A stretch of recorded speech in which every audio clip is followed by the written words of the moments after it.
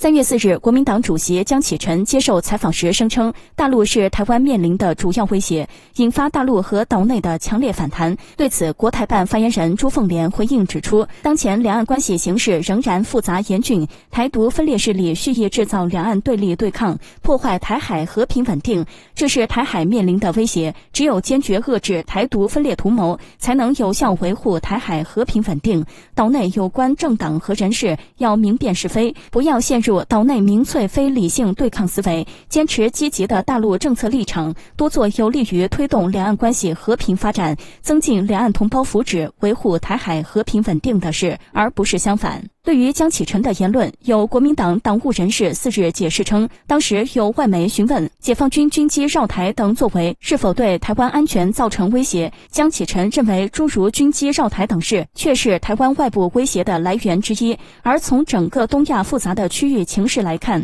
如南海的主权纷争，也是台湾所面临的安全威胁。国民党大陆事务部主任左正东称，现在对两岸来说，新冠疫情才是共同威胁，盼疫苗来台能让两岸走出疫情，恢复交流，化解分歧。日前宣布参选国民党主席的张亚中指出，江启臣的访谈，民进党笑了。以经贸依存度而言，去年台湾对大陆的贸易顺差相当庞大，这对台湾经济是助力还是威胁？作为国民党主席，应该要有如何能够让两岸降低敌意，甚而创造两岸和平的主张，而不是跟着民进党鹦鹉学舌，喊一声大陆是台湾最大威胁，就算交差了事了。这是民进党的一贯话术套路。堂堂国民党主席也要学。与此同时，岛内有人反驳称，大陆也可能是台湾最大的红利。去年台湾赚大陆一千四百零五亿美元顺差，没有这个钱，股市会掉多少？台湾年轻人薪水不高，也疯炒股，股市跌个三成五成，会变成什么样子？他说：“不卑不亢，不偏不倚，应该是国民党的立场。但如果想跟在民进党屁股后面食人牙慧，选民投民进党就好了，投给国民党干嘛？政党要有自己的主张与两岸政策。”